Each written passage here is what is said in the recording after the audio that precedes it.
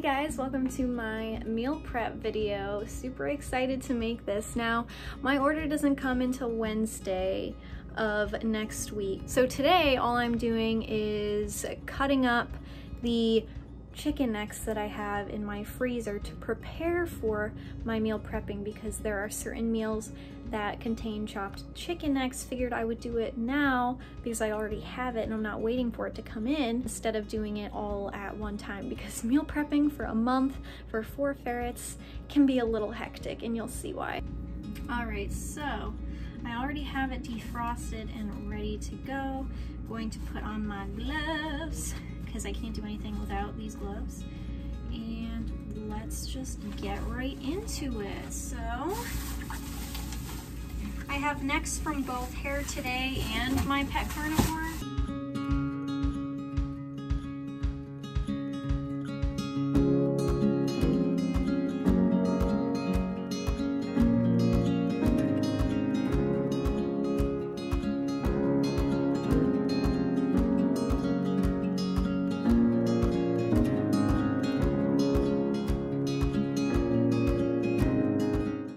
Just finished chopping all of these necks. My hands are hurting. so these are what's going to be added to some of the meals on the days that I am feeding necks. And the reason why I add these to the grinds is because the grinds themselves, just the bones are not big enough to clean their teeth. So this really helps clean their teeth uh, throughout the week. So that is why I have done this. The next time I talk to you guys is actually when we do the entire meal process. I've got all the containers, most of them ready to go. And Pazu is excited as well. You excited to try some new stuff? Say bye-bye. Oh, don't film me. Get my good side. Hey guys, good morning. I just got the notification that my meat order has arrived, so I need to go get that from outside and prepare to thaw out everything in the sink. So I'll show you how I do that in just a second.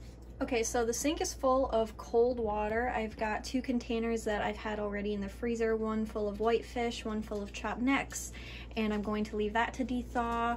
I have some of the things that I need all set and ready to go. The first being some plastic wrap to cover the food scale just because I don't like to get it all dirty and then have to keep washing every time. If I cover it in plastic wrap, it's a lot easier to clean.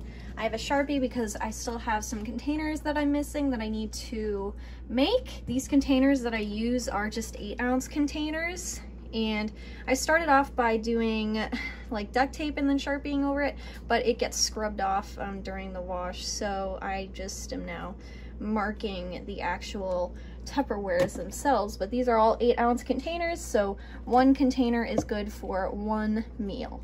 So they eat two containers a day of food.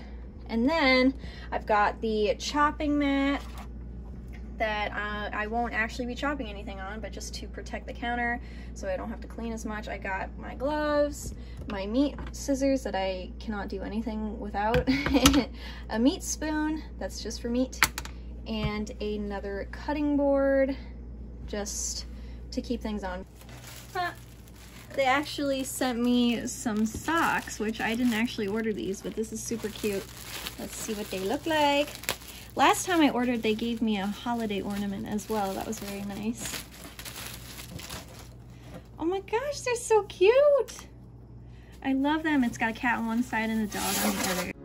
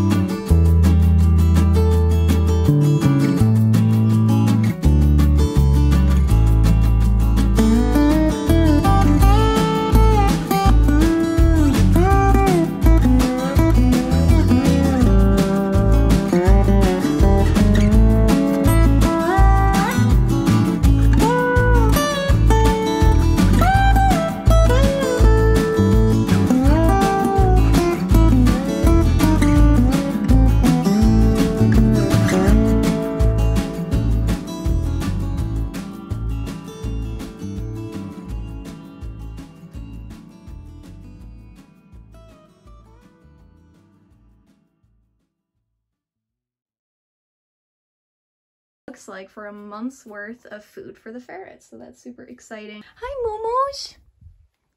Hi, Momos. Making your food. Is this all your food? Do you eat this because you're a big girl? Oh my god. You're naughty. You're the naughty boy that gets into the box. Yes, you are.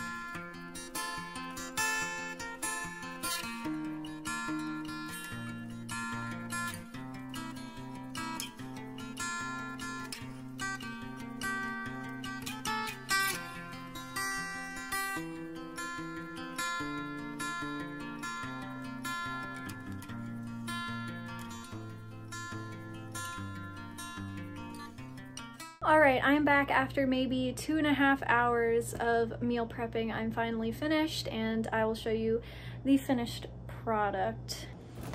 So this is what my freezer looks like, a month's worth of raw food in here. And I have necks, fish, and extra food, gizzards, and hearts up there. So that is what a month's worth of food for four ferrets looks like. And if you're wondering where I keep my food, it's usually in the drawers.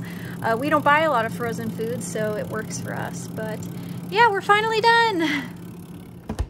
Now it's time for the fun part, cleaning up. And I made a really big mess over there, so yeah, but anyways, that is the end of today's video. I hope you enjoyed it. I hope it was helpful and useful. I will be inserting a picture of the meal plan at the end of this video because during my meal prep is usually I'll switch things around. I won't always follow what I have written down. So I'll put a picture, but just so you guys are aware, a little disclaimer. If your ferrets are not used to eating raw food, they must be properly transitioned on over to it. It must be done a certain way. Please do not attempt to follow my meal plan unless you are currently feeding raw. And even then, if you're currently feeding raw and you're looking to do whole grinds, please talk to me first before you go like mixing and matching and adding things to the grinds because you want it to be overall balanced um, even if you were to add extra goodies to it. Yeah, I hope you guys enjoyed it and I will see you in my next video. Bye! Alright, so here is my meal plan and my proteins that I will be doing for this month is duck, turkey, rabbit, muskrat, pork, and fish. Now the pork is only for one meal because I'm testing to see if Momo really is sensitive to hoofed animals because turns out she might not be and that was just a fluke in the beginning of her transition. Her body just wasn't ready to handle hooved prey at that point. But now I think, you know, it's been enough time for her, and so I'm trying it again. And turkey is not included in too many meals because turkey is not generally their most favorite thing in the world. And muskrat is a new protein, um, it is a wild animal. and it's uh, pretty cool. I think the only place that you can get it is from My Pet Carnivore, and I'm super excited to try it. And there's sort of a rhyme or reason for what I've done on this meal plan, sort of not. A lot of it's just kind of random. The heart signs are is just a reminder for me to work on trick training with Pazu or just giving them extra treats like heart and whatnot, hence the heart symbol. Some meals there's chicken feet to up the bone percentage. Some meals there's chicken neck for the same reason. Some I do fish. I only do fish like three times a week right now, and etc. So again, like I said before, please do not try to recreate this if you do not know what you're doing. You could very easily throw off the natural balance with the whole prey grinds, so you, you don't want to do that. So yeah, I hope you guys enjoyed the video, and I'll see you again soon. Thanks!